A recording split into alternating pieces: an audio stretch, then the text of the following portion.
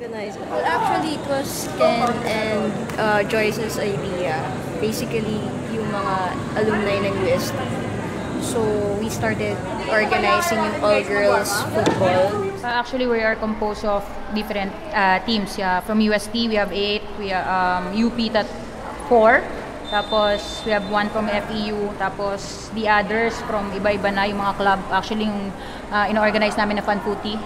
Doon galing yung ibang mga players. So, mostly beginners yung iba. And then, meron po kami from UANT pala. Yung futsal, UANT. So, apat sila. And then, si Or from Iloilo. Si Coach Popoy, si Coach Chris from UP. Since nag-start na yung UA, UAAP, naging busy na rin sila sa ibang mga club. So, nag-take over si Coach Jade from UST rin before. Best um, experience is yung makita mo talaga na lahat lumalaban. Basta-basta since kami nasa bottom, ah, lumalaban pa rin. Manalo, matalo, tambakan o hindi. So, nandun pa rin, buong buo lumalaban yun as a team, kahit na minsan lang magkita. Uh, mostly out of our own pockets. So, yun. Wala pa kaming nakuhang sponsor. I like your uniform. Who designed it? Uh, Maita Morian. Usually, she, she plays defense. Basically, for fun. And yun nga, we, we don't really train. So how long have you been playing football? 10 years, more than 10 years. Started What's your best with- moment? Uh, when I scored during UAAP against Epitero. yun na yun.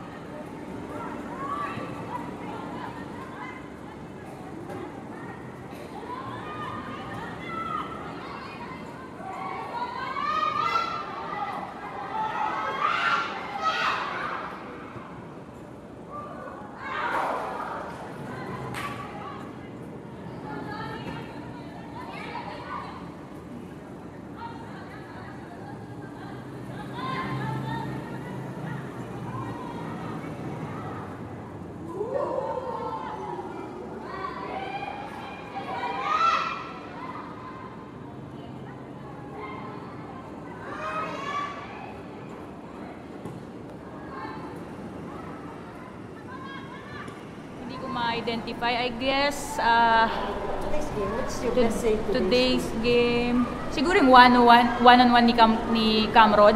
Kasi yung utak ko nun parang talagang, ah, ito na, one-on-one. But I guess, nakatulong yung warm-up namin kanina, yung kasama yung drills na yon exactly the same drills, na ang instruction is just take the right side, kasi sa right si Sipa.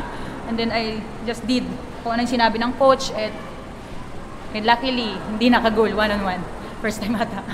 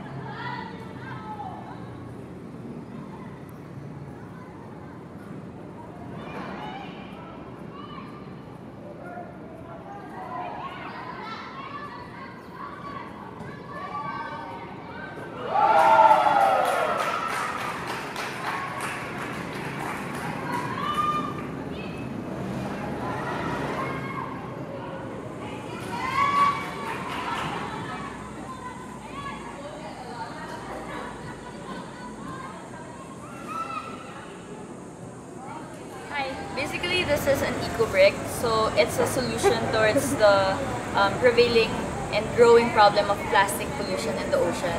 So basically, all of the what you do is that you get a plastic bottle and then you get all your plastic waste and put it inside, and eventually it becomes a filler for low-cost construction in a community in Zambales. So you're not just lessening the uh, plastic pollution in the oceans, but you're also helping another village um, to build a village. Yeah, that's it.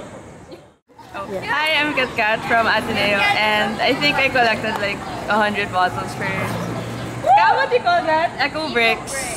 They make it to. Yeah. She's fake. Fraud. yeah. Do it too, guys.